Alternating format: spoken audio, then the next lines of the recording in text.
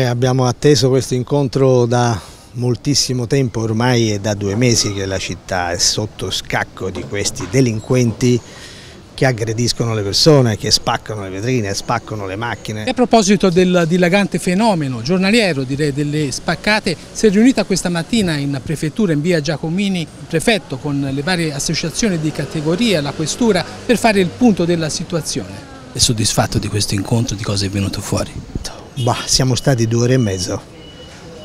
ma non sono assolutamente soddisfatto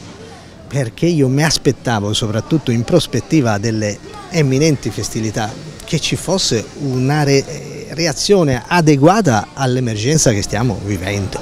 e che tutti voi, giornali, telegiornali, non fate altro che raccontare tutti i giorni. Invece, al di là dell'impegno nostro, categorie, Camera di Commercio, Fondazione Cassa di Risparmio, di aiutare un po' quelli che magari non sono ancora dotati di adeguati sistemi di sicurezza o vetri antisfondamento, quindi di autodifesa e che li aiuteremo in questa direzione,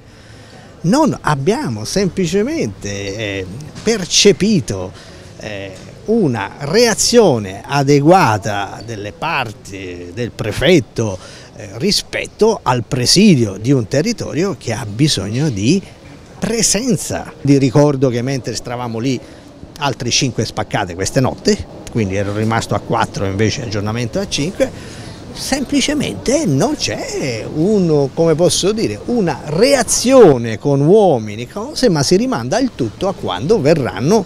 dei rinforzi che poi mi ci dicono che saranno formati, saranno addestrati, quindi noi dobbiamo convivere intanto con questa situazione avvilente perché noi cominciamo ad avere le nostre ragazze che non vogliono venire più la sera a chiudere. Ecco, qualcuno ha detto una provocazione, dormiremo nei nostri negozi a questo punto. Ognuno sta affrontando il fenomeno come la ritiene, perché quando succedono le stesse cose, nei stessi luoghi, nelle stesse ore, è chiaro che chi può, chi è organizzato sta dormendo dentro. Ecco, lei si era fatto fra l'altro portatore della sua categoria, di tante eh, persone che le hanno chiesto appunto di dire eh, al prefetto le cose che non vanno, ma invece profonda delusione da questo incontro? Eh, io ho provato semplicemente a rappresentarlo alle istituzioni che, di cui non ritengo di aver avuto eh, l'adeguato riscontro e quindi devo dire che oggi io non mi sento rappresentato nelle mie difficoltà, nelle mie angosce, ma ripeto, di chi come me lavora, opera e vive in questa città. Speriamo che succeda qualcosa.